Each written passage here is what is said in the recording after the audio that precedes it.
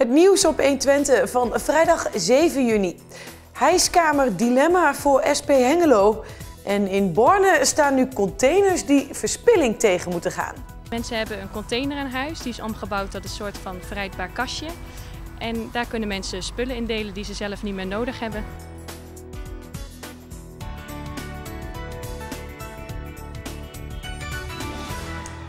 Goedenavond. De integratie van statushouders in Enschede verloopt niet goed genoeg. Dat vindt de lokale VVD-fractie. Van alle 1759 statushouders, vluchtelingen met een verblijfstatus, die sinds 2013 in Enschede zijn komen wonen, is bijgehouden hoe zij zich in de stad hebben gemanifesteerd. 72% ontvangt nog altijd een uitkering. VVD-raadslid Malkis Jajan vindt de uitstroom van statushouders uit de bijstand ondermaats en wil weten of het college dat met hem eens is. Ook hoopt hij via schriftelijke vragen van het college te horen wat er gedaan gaat worden om meer statushouders uit de bijstand te helpen. Wel of geen hijskamer op het Marktplein in Hengelo? Het is een flink dilemma voor de lokale SP, die als eerste coalitiepartij nu openlijk de twijfel uitspreekt. De SP vraagt zich af of een dergelijk groot gebouw met tal van functies wel rendabel te maken is. Bovendien is er ook veel sympathie voor de actiegroep Bos op het Plein voor meer groen. Maar brengt dat meer mensen naar de stad, daar waar de hijskamer veel reuring teweeg kan brengen en waar juist behoefte aan is? Er wordt nu een ledenvergadering over dit onderwerp voorbereid, waarin alle kanten goed belicht zullen worden. Ook voor D66 in Hengelo is het een harde voorwaarde dat de hijskamer zichzelf kan bedruipen. In Borne zijn deelcontainers geplaatst. Containers om een volle bak samen te delen. Het is een nieuwe dienst van Twente Milieu om verspilling tegen te gaan. Buurtbewoners kunnen spullen of etenswaren een tweede leven geven door het te delen met anderen. Volle bak samen delen is een uh, nieuwe dienst van Twente Milieu samen met uh, uh, Natuur en Milieu Overijssel. Het houdt eigenlijk in dat we door middel van deelcontainers, zoals wij ze noemen, verspilling willen tegengaan. Dus mensen hebben een container in huis, die is omgebouwd tot een soort van verrijdbaar kastje. En daar kunnen mensen spullen in delen die ze zelf niet meer nodig hebben. Nou, er mogen dingen in die erin passen. Er mag bijvoorbeeld uh, gelieven niet wat naast gezet worden. Ik heb het zelf dan per ongeluk wel gedaan. Een, hele, een grote vaas met nepbloemen die ik zelf al jaren had. En langzaamaan begon het niet meer in de weg te staan. Het is de bedoeling dus dat, dat er dingen inkomen die bruikbaar zijn, niet kapot nog eetbaar als het al etenswaren zijn. De container is uh, oorspronkelijk door een echtpaar in Brummen, daar woont onze directeur, en uh, ontworpen, gemaakt. Zij hadden het als een soort van boekenkastje, een eigen container omgebouwd. Nou ja, dat hebben wij dus verder ontwikkeld tot wat het nu is. De containers worden gemaakt in een werkplaats met jongens en meiden die allemaal nog wat aan het leren zijn. Dus die, ja, dat heeft meerdere doelen. Bij Twents Milieu wouden ze dit eerst een half jaar aankijken hoe het, hoe het loopt, wat de ervaringen zijn, of, of men dit wil doorzetten, ja of nee, na een half jaar. Het experiment is denk ik geslaagd als uh, veel inwoners de containers ook weten te vinden. Maar vooral als mensen ook eens ja, bewuster toch nadenken over spullen. Of die misschien nog herbruikbaar zijn voor een ander uh, voordat ze het weggooien. Roy de Witte wordt namens het CDA gedeputeerde in de provincie Overijssel. En dat betekent dat hij te bergen als wethouder verlaat. Gisteren maakten CDA, VVD, PvdA, ChristenUnie en SGP bekend dat ze eruit zijn met onderhandelen en dat ze komende dinsdag het coalitieakkoord en de nieuwe gedeputeerde presenteren. Het CDA in Tubbergen wil na die presentatie dinsdag meer zeggen over de opvolging. Gisteren werd de warmtecentrale in Hart van Zuid in Hengelo geopend. Gevolgd door een debat over verduurzamen van de bebouwde omgeving. Maar wat kan Hengelo zelf doen op dat gebied?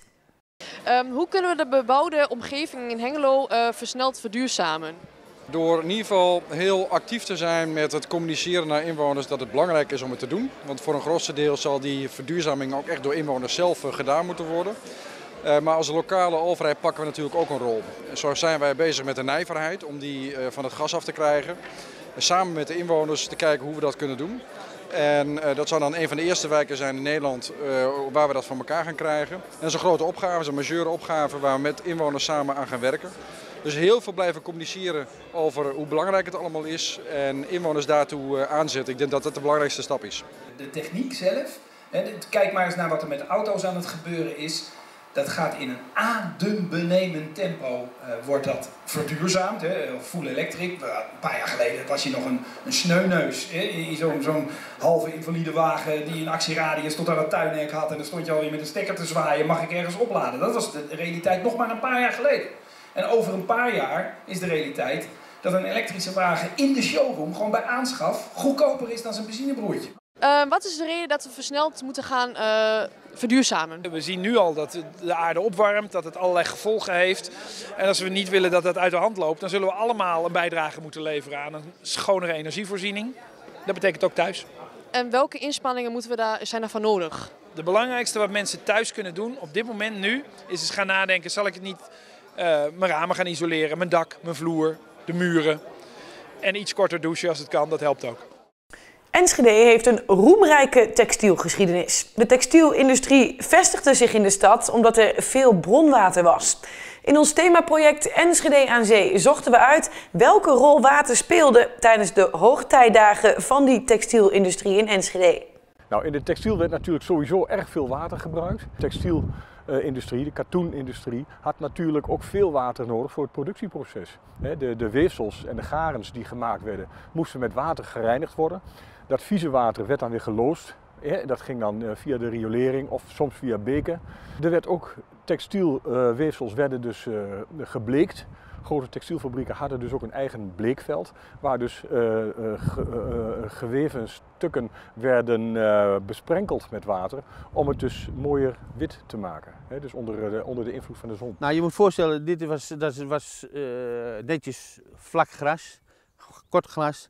En daar werd het linnen op uitgezet en dan werd met een lange schep water uit het water gehaald. En dat werd als het ware zo over het linnen heen gegooid. En daar staat de bol, hij schijnt nu ook weer, die zijn werk moest doen. De zon zorgde voor het bleken. Ja. En het water werd erop gedaan. We zien hier ook nog uh, de originele watertoren. Ja, klopt. Is dat bijzonder dat hij hier nog is vandaag? Nou, er zijn er nog wel een paar meer in, uh, in Enschede, maar dit is wel een plaatje. Dit, deze ziet er natuurlijk fantastisch uit. In de eerste plaats hadden bijna alle textielfabrieken een watertoren, omdat ze een sprinklerinstallatie in bedrijf hadden. Uh, ja, binnen die textielindustrie werd, ja, kon, werd gewerkt ook met warmte, wrijving en dat soort dingen. En er was veel stof, er waren veel brandbare artikelen. En dan had je het nodig om in ieder geval een brandveilige situatie te creëren. Dus uh, het water kwam voor de sprinklerinstallaties van hoog, want anders heb je geen waterdruk. En daarvoor hebben dus die fabrieken een, een watertoren. Uh, bijna elke fabriek heeft dus een watertoren. Roombeek is blijven staan, Drienebeek is blijven staan, maar heel veel beken zijn gewoon in het riool terechtgekomen en verdwenen. Dus dat is uh, een van, van, ook van de oorzaken dat Nederland Enschede dus ja, af en toe natte voeten krijgen. Want we hebben maar, schuif het maar dicht. Maar het water is gewend om ergens naartoe te stromen. En als schuif je dicht, dan gaat het water toch stromen. Het water wil daar naartoe. De bronnen werden dus niet meer gebruikt. En uh, als die bronnen niet meer gebruikt worden, dus er wordt geen water meer uitgehaald, dan uh, loop je dus kans dat de, de, uh, de waterstand, de grondwaterstand, dat die dus aanzienlijk gaat stijgen. En daar hebben we tot op de dag van vandaag hier in Enschede ook last van. En dan het weerbericht. Het kan vanavond flink tekeer gaan. Het KNMI heeft code oranje afgekondigd voor Oost-Nederland. Het kan flink gaan onweren en hagelen. En er zijn zware windstoten mogelijk van 70 tot 100 km per uur. Code oranje geldt tot 10 uur vanavond.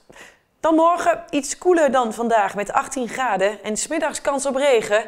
En dan kijken we even naar het Pinksterweekend. Wisselvallig weer, temperaturen rond de 20 graden. Zondag is het droog en komt de zon af en toe nog tevoorschijn. Maar maandag een grijze dag met regen. En tot zover deze nieuwsuitzending. Zometeen zie je hier A Taste of Grooves, maar nu eerst Twente Breed.